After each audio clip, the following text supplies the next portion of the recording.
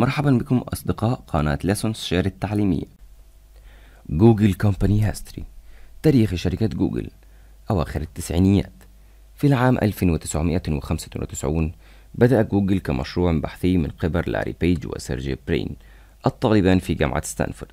في الأصل استخدم موقع ستانفورد محرك البحث على الويب مع النطاق google.stanford.edu وفي 15 سبتمبر في العام 1997 تم تسجيل النطاق google.com وفي الرابع من سبتمبر في العام 1998 قد قاموا رسميا بتأسيس شركتهم جوجل في مرآب صديقتهم سوزان واجسكي. في مينلو بارك كاليفورنيا كان كل من برين وبيج يعارضان استخدام النوافذ المنبثقة الإعلانية في محرك البحث أو نموذج محركات البحث الممولة من الإعلانات. وكتبوا ورقة بحثية في العام 1998 حول هذا الموضوع في حين لا يزال الطلاب غيروا عقولهم في وقت مبكر وسمحوا بالإعلانات نصية بسيطة.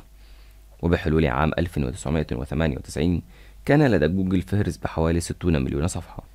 في مارس 1999 انتقلت الشركة إلى مكاتب في 265 شارع الجامعة في بالو آلتو وموطن عدة شركات تكنولوجيا السيليكون وبعد أن قامت الشركة بسرعة بتطوير موقعين آخرين واستأجرت مجموعة من المباني في ماونتن فيو من سيليكون جرافيكس في العام 2003 ظلت الشركة في هذا الموقع منذ ذلك الحين وأصبح منذ ذلك الحين والمعروف باسم جوجل بليكس وفي عام 2006 اشترت جوجل العقار من SGI مقابل 319 مليون دولار أمريكي.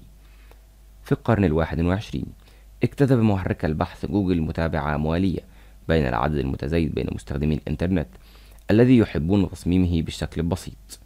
وفي العام 2000 بدأ جوجل بيع الإعلانات المرتبطة بالكلمات الرئيسية بالبحث.